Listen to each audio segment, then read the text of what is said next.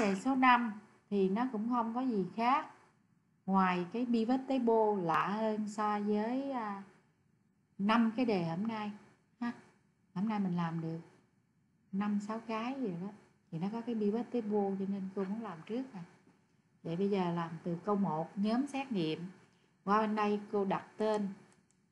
Đặt tên cái này là nhóm xét nghiệm cái tên này không dùng indirect gì hết cho nên cô đặt tên nhóm XN cũng được. Rồi qua đây tạo data validation. Data validation dạng list bằng cái nhóm xét nghiệm mới vừa đặt tên. À, nhóm xét nghiệm mới vừa đặt tên rồi nhập dữ liệu.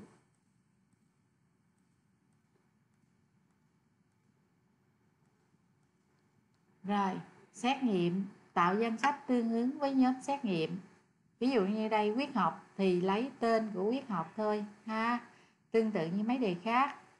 Qua đây đặt tên. À, cái này là chất gây nghiện. Cô cũng đặt ở đây là tên. Xong rồi cô phải viết y như thế này.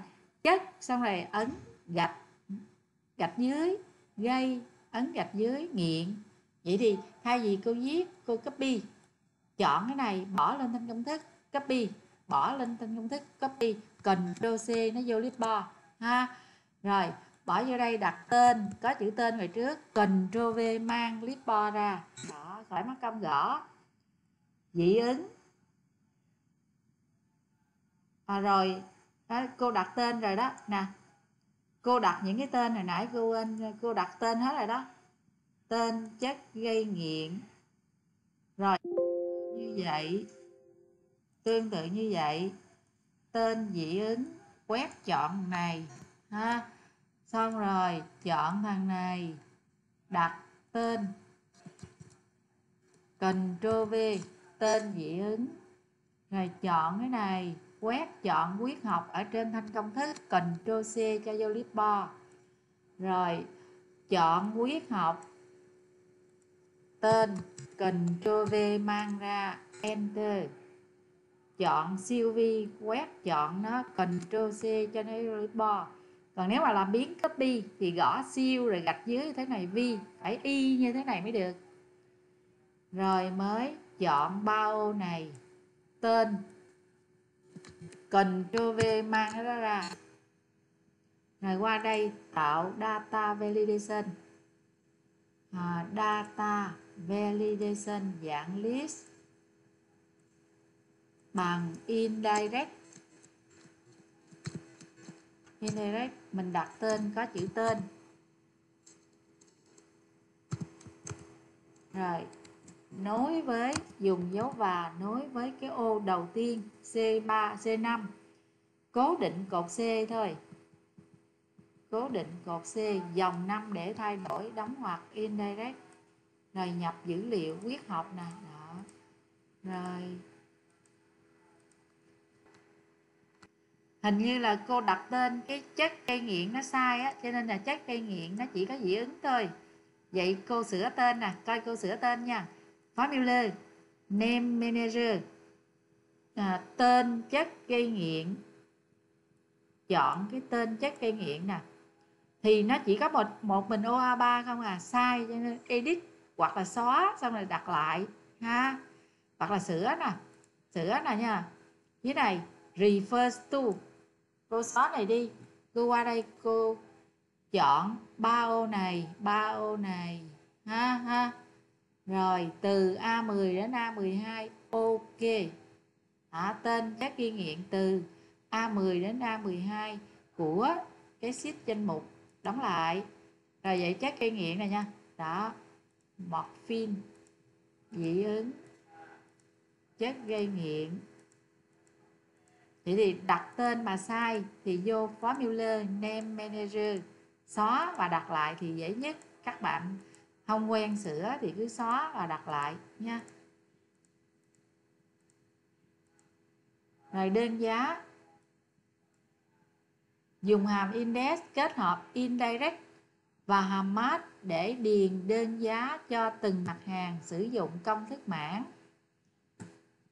À, chọn này copy cô làm biến gõ Ctrl C. Chọn cái này giá của chất cây nghiện giá Ctrl V.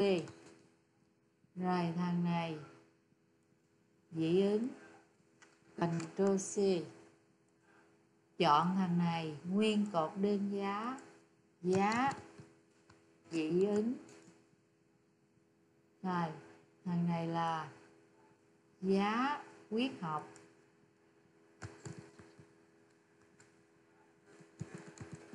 Ấn gạch ship nè. Học. Nó phải viết giống y vậy? Rồi hàng này là giá siêu vi.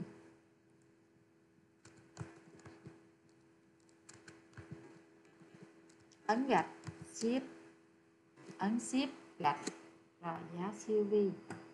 Qua đây nhớ là mình đặt giá nó có một cột thôi cho nên hàm index chỉ cần hai đối số. Đối số đầu lấy cái giá đối số 2 à, là dùng hàm mát để tìm cái tên ha. Rồi đơn giá sử dụng công thức mảng. Công thức mảng trả kết quả về một mảng. Chọn mảng dưới kết quả cài công thức bằng index rồi index đối số đầu, nếu đây là chất gây nghiện thì tìm trong giá của chất gây nghiện. Đây là dị ứng thì tìm trong giá dị ứng. Cho nên chỗ này indirect để lấy ra. Nè, coi này nha. Khi mà cô gõ tên hàm mở ngoặc đơn mà nó không hiện lên cú pháp của hàm là cô biết cô viết hàm tên hàm sai. Rồi indirect mở ngoặc có cú pháp của indirect. À, giá. Rồi bây giờ bàn phím của cô nó bị gì? Rồi cô nối với nối với cái công thức mãn cho nên cô nối với nguyên cái nhóm xét nghiệm rồi đóng ngoặc indirect. Phẩy nó có một cột thôi cho nên cô chỉ cần một cái đối số này là được. Tức là nó mãn một chiều, bây giờ cô lấy phần tử thứ mấy? Lấy phần tử thứ mấy thì dựa vào cái tên, ha? Dựa vào cái xét nghiệm. Rồi vậy thì chỗ này dùng hàm mát. TCH tìm gì? Tìm cái xét nghiệm này nè. Ha? Phải tìm ở đâu? Tìm trong tên của nó. Cho nên chỗ này indirect. Indirect. Nãy cái kia cô đặt có chữ tên.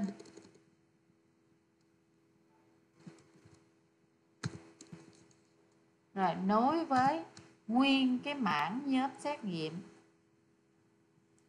Rồi đóng ngoặc. Indirect. À, hàm hai đối số rồi đó. Bây giờ còn đối số thứ ba là cách tìm tìm chính xác ghi không? Đóng ngoặc hàm mát, đóng ngoặc hàm index. Nếu mà cái array ngoài trước chỉ có một cột hoặc một dòng, thì hàm index chỉ cần hai đối số thôi, ha. Nó là mảng một chiều đó, rồi control Shift, Enter. Rồi bây giờ số lượng xác lập điều kiện chỉ cho phép nhập dữ liệu số nguyên lớn hơn không? Chọn nguyên cái này, data validation, và dễ. Và chọn whole number và không bị thuyên nữa mà là greater than lớn hơn không?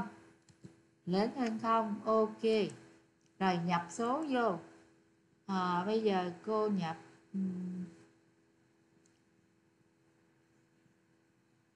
à, 50 60 45 30 nhân dân rồi thành tiền bằng số lượng nhân đơn giá. Tuy nhiên, giảm 5% thành tiền cho những xét nghiệm thuộc nhóm chất gây nghiện và có số lượng lớn hơn 10 sử dụng công thức mảng công thức mảng trả kết quả về một mảng, chọn khoảng dưới kết quả bằng số lượng, mảng số lượng nhân mảng đơn giá và nếu mà giảm giá 5% thì nó sẽ nhân với 95% nhưng không phải cái nào cũng giảm, cho nên nếu thỏa điều kiện nó giảm, và nó nếu nếu thỏa mấy điều kiện, hai điều kiện, hai điều kiện kết hợp bằng và, cho nên điều kiện một nhân điều kiện 2 phẩy, hai điều kiện này đó thì 95 phần trăm ngược lại một rồi bây giờ bỏ điểm chèn vào trong dấu ngoặc tròn. À, điều kiện thứ nhất là nhóm xét nghiệm nhóm xét nghiệm bằng. Này bắt bắt buộc mình phải gõ thôi. Bằng gõ nè.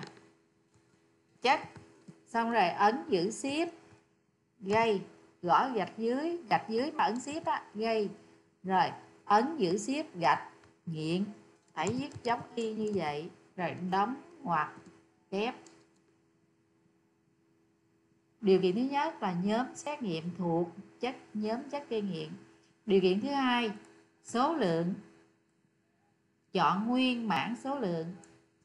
À, và có số lượng lớn hơn 10 lớn hơn 10 đó rồi.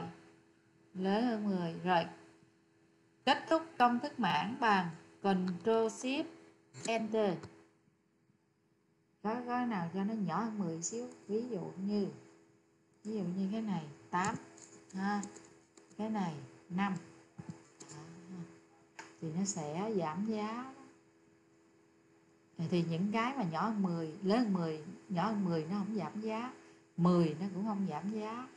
Ví dụ thằng này 10 cũng không giảm giá.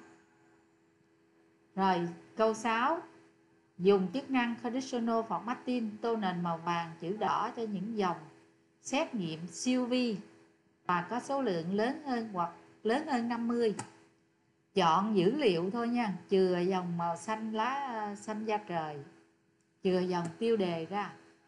Tab home conditional formatting manage rule new rule use a formula, dùng công thức công thức bắt đầu bằng dấu bằng này có mấy điều kiện, hai điều kiện và kết hợp bằng and and and điều kiện 1 điều kiện 1 là nhóm xét nghiệm bằng siêu vi lít trên, cái này không phải công thức mãn nha. Lít trên ô đầu tiên của nhóm xét nghiệm, cố định cột thôi, cố định cột C. Bằng siêu vi và siêu vi phải viết giống y như của họ. S I E U. Rồi ấn shift và gõ gạch. Dấu gạch dưới gạch ấn shift á. Vi đóng nháy kép. C5 bằng siêu vi C5 cố định cột. Đó là một điều kiện. Điều kiện 2 list vào ô số lượng đầu tiên cũng cố định cột F, dòng 5 để thay đổi. Lớn hơn 50 rồi, đóng ngoặc điều kiện. Nếu thỏa hai điều kiện đó đồng thời thì tô nền màu vàng, bấm format tô nền màu vàng, chữ màu đỏ, color đỏ. Ok. Rồi. Ok. Công thức của cô sai. Công thức của cô sai. Sai chỗ nào? Giỏi chứ rồi do cái siêu vi của cô hai giống nháy kép nè, do bàn phím cô bị gì cô chưa sửa được. Rồi định dạng, ok. Rồi apply, ok. Vậy thì siêu vi mà có số lượng lớn hơn 50 thì mới được tô. Ha, còn siêu vi có 45 không tô. Rồi bây giờ thống kê thành tiền. Thống kê tổng thành tiền xét nghiệm trừ heroin và nhóm máu RH bằng pivot table theo mẫu sau tôi chụp hình cái mẫu cô để đây nè. Thì pivot table nó giống như trong Access là rows tab query vậy đó. Nó thống kê theo hai tiêu chí. Một tiêu chí là nhóm xét nghiệm một tiêu chí là tên xét nghiệm. Và à, cái này gọi là row label cái này gọi là column label. Còn còn cái số tiền thành tiền thì nó gọi là value. Vậy để tạo pivot table thì làm sao? Cô insert pivot table bấm vô chỗ này. Ở trên select a table orange thì cô chọn vùng dữ liệu. À, vùng dữ liệu thì phải có dòng tiêu đề. Nhớ có dòng tiêu đề số phiếu nhóm xét nghiệm rồi đó nha. Nhớ chọn luôn dòng số 4 ha, từ B4 đến G16 rồi, ở dưới này chọn nơi đặt pivot table.